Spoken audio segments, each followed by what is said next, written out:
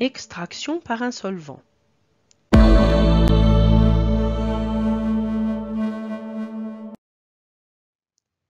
L'extraction est une technique qui permet de séparer une espèce chimique ou un mélange d'espèces chimiques d'une substance. L'extraction par un solvant est une technique largement répandue au laboratoire depuis le XIXe siècle et le développement des solvants organiques. Pour extraire une espèce chimique d'une substance solide ou liquide, on utilise un solvant d'extraction. Le choix d'un solvant d'extraction se fait selon plusieurs critères. La solubilité de l'espèce dans le solvant, la miscibilité avec le solvant de départ et le danger pour l'environnement et la santé.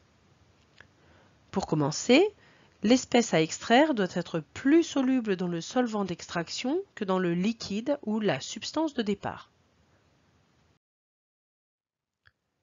Prenons l'exemple de l'extraction de l'eugénol. On souhaite extraire l'eugénol contenu dans l'huile essentielle de clou de girofle. L'huile essentielle de clou de girofle, obtenue par hydrodistillation de clou de girofle, est constituée d'eau dans laquelle est dissoute de l'eugénol. Quel solvant faut-il choisir?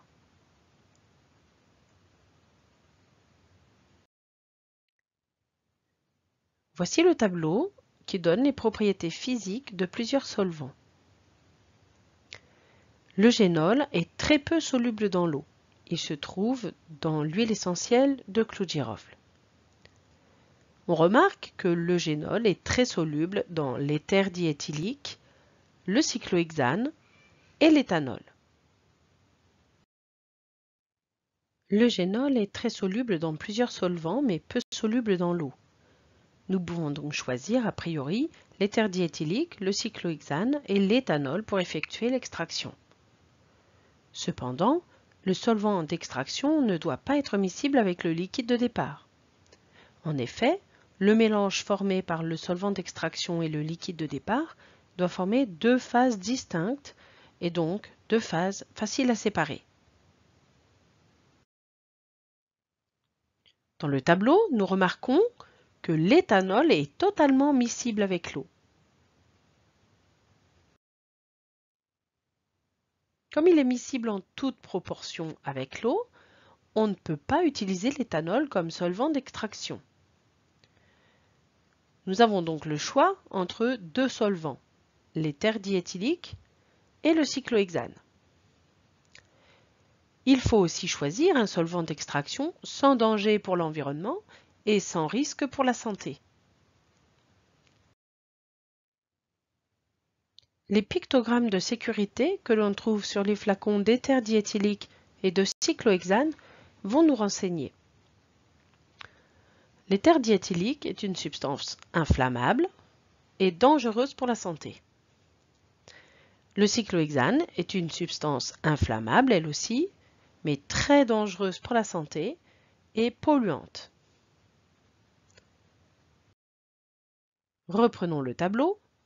On peut éliminer le cyclohexane qui est trop dangereux pour l'environnement et la santé.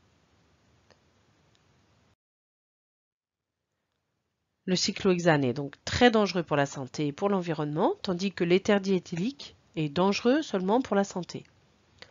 On choisit donc, comme solvant d'extraction, l'éther diéthylique. Il faudra cependant prendre de nombreuses précautions car ce solvant est inflammable il faudra donc le tenir éloigné d'une flamme, d'une étincelle et des appareils électriques et le rejeter dans des bidons spéciaux après utilisation. L'extraction est réalisée dans une ampoule à décanter en ajoutant le solvant d'extraction à l'huile essentielle. Après agitation, l'espèce est transférée, c'est-à-dire dissoute dans le solvant d'extraction et n'est plus présente ou alors à l'état de trace dans le liquide ou le solide de départ. Afin de séparer la phase contenant cette espèce chimique dissoute, l'extraction est suivie d'une filtration ou d'une décantation. Ensuite, si on veut obtenir une espèce chimique pure, il faut éliminer le solvant d'extraction par évaporation. L'évaporateur rotatif permet d'éliminer ce solvant.